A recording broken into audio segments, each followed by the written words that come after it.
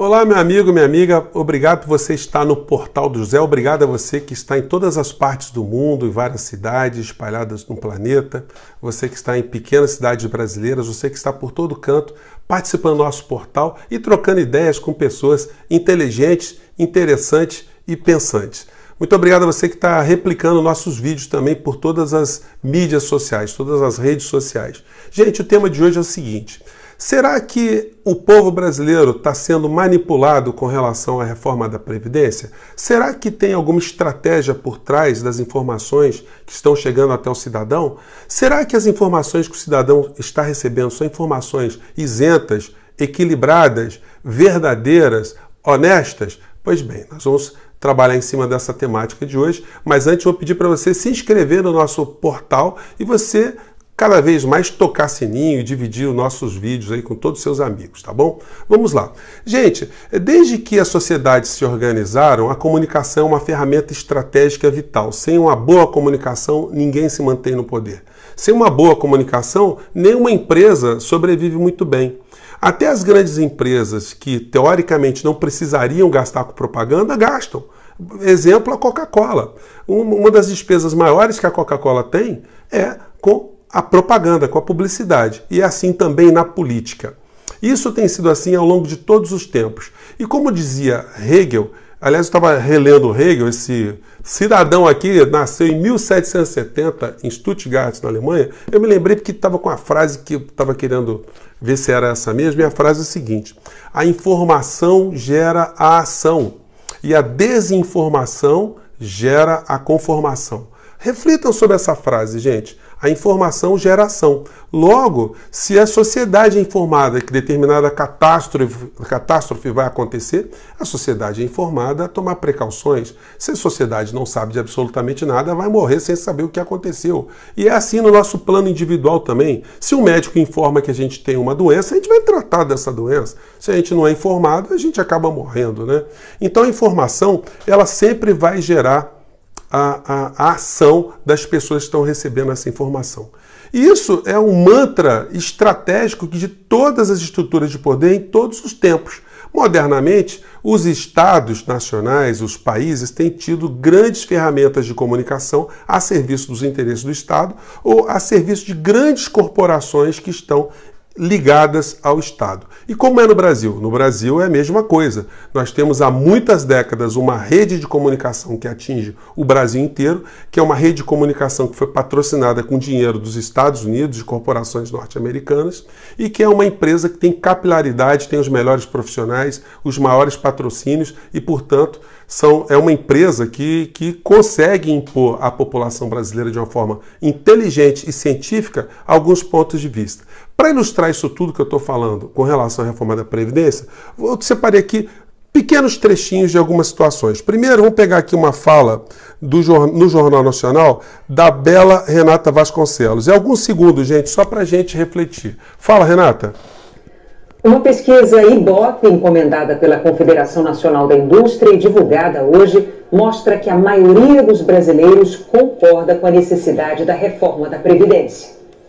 Bom, então, é, olha só, é, eu já coloquei esse vídeo em, em, outro material que eu produzi e perceba algumas questões aqui importantes. Primeiro é o seguinte: é, a matéria abre dizendo que a Confederação Nacional da Indústria contratou o IBOP para fazer uma pesquisa sobre a reforma da Previdência. Vocês acham isso normal?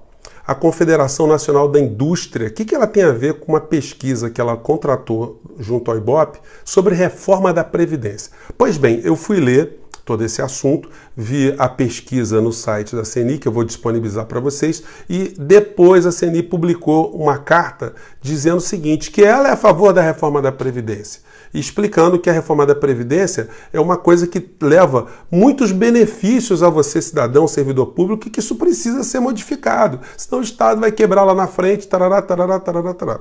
Eu pergunto a vocês, por que a CNI também não faz outras pesquisas se o povo brasileiro está é, tá consciente, consciente sobre o pagamento de juros da dívida pública?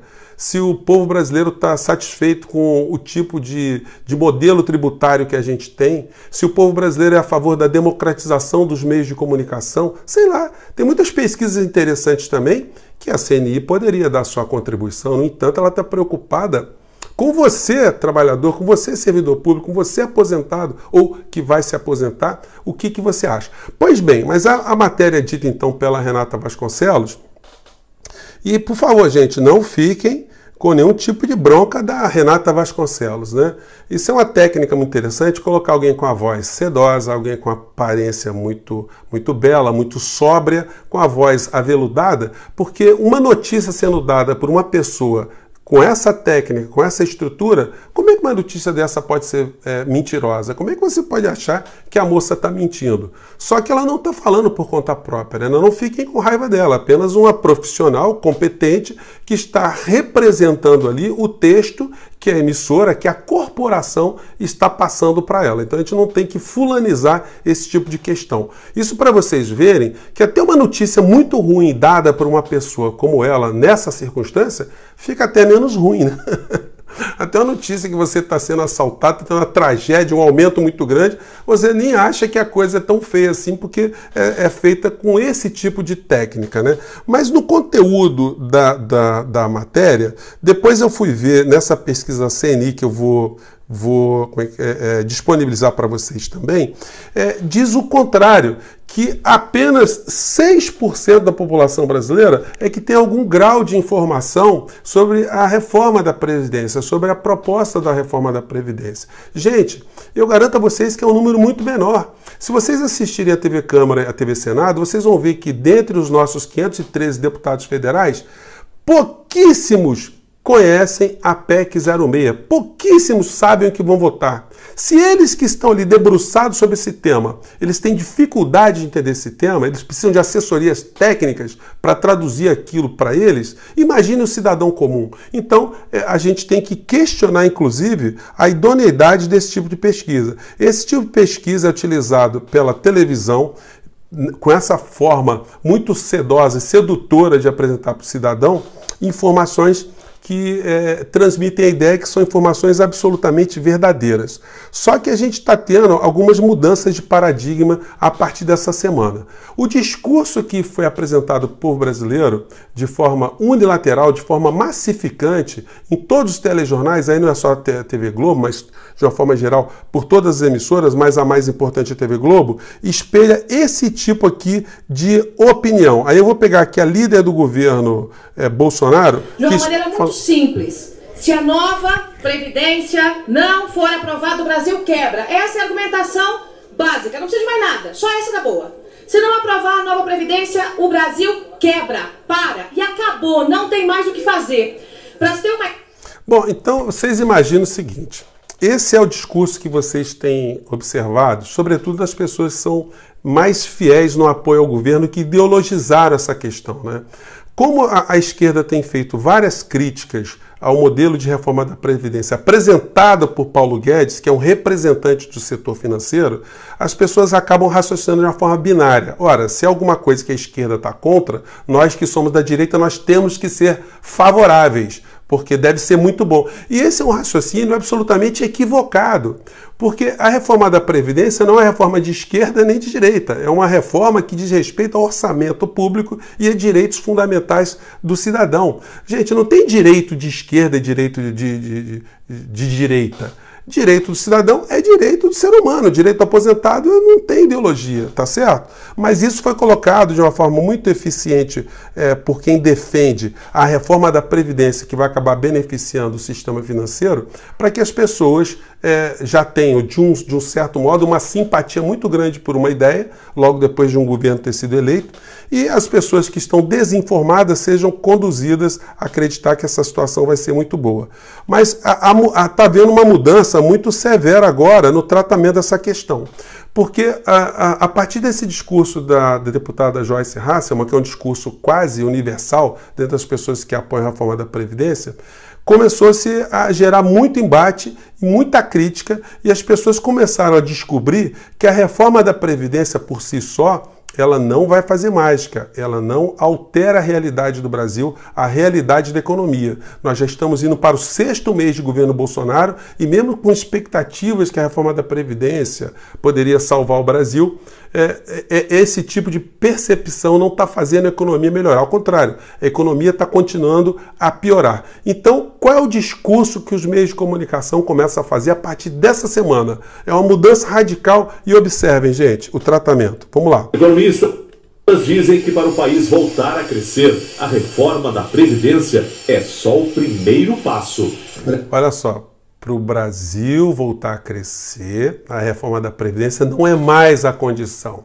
Era apenas o primeiro passo. Aí coloca o economista para falar. Fala, A reforma da Previdência é muito importante, porque ela reduz a taxa de crescimento do gasto público, que saiu de controle. Para além da reforma da Previdência, você vai ter que fazer outras reformas fiscais, porque vai continuar faltando dinheiro. A reforma da Previdência estabiliza o paciente, mas está longe de ser a cura. Reforma... Gente, então olha só. O, o, o, o, discurso, ele a partir dessa semana, ele está completamente mudado. E olha só o que diz o jornal impresso aqui, só para a gente ilustrar um pouco mais.